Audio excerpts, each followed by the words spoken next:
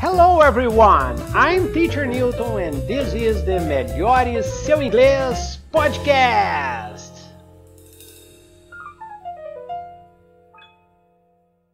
Hello everyone! So in this week's episode we are going to study can, could and be able to. We use can to say that something is possible or allowed, or that somebody has the ability to do something. We use can plus infinitive, for example, can do, can see, can work, etc. For example, we can see the lake from our bedroom window. We can see the lake from our bedroom window. I haven't got a pen. You can use mine. I haven't got a pen. You can use mine. Can you speak any foreign languages? Can you speak any foreign languages? I can come and see you tomorrow if you like. I can come and see you tomorrow if you like. The word play can be a noun or a verb. The word play can be a noun or a verb. The negative is can't or cannot. I'm afraid I can't come to the party on Friday. I'm afraid I can't come to the party on Friday. You can say that somebody is able to do something, but can is more usual. For example, we are able to see the lake from our bedroom window.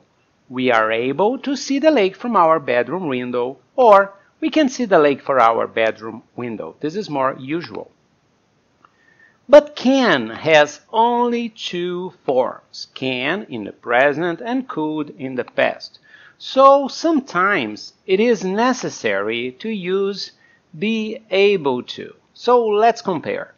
I can't sleep or I haven't been able to sleep recently. Tom can come tomorrow. Tom might be able to come tomorrow. Maria can speak French, Spanish, and English. Applicants for the job must be able to speak two foreign languages. Could. Sometimes could is the past of can. We use could especially with see, could see, hear, could hear, smell, could smell, taste, could taste, feel, could feel, remember, could remember, understand, could understand. We had a lovely room in the hotel. We could see the lake. We had a lovely room in the hotel. We could see the lake. As soon as I walked into the room, I could smell gas. As soon as I walked into the room, I could smell gas. I was sitting at the back of the theater and couldn't hear very well. I was sitting in the ba- at the back of the theater and couldn't hear very well. We also use could to say that something had the general ability or permission to do something. For example, my grandfather could speak five languages. We were my grandfather could speak five languages. We were totally free. We could do what we wanted. We were totally free. We could do what we wanted which is the same as what we were allowed to do. Could and was able to. We use could for general ability. But if you want to say that something did something in a specific situa situation, use was or were able to, was able to, were able to, or managed to, but never use could in this way. The fire spread through the building very quickly, but fortunately everybody was able to escape. The fire spread through the building very quickly, but fortunately everybody managed to, es to escape. And you cannot say here could escape.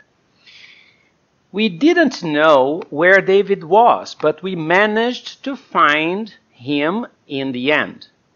We didn't know where David was, but we were able to find him in the end. Never use in this situation could find.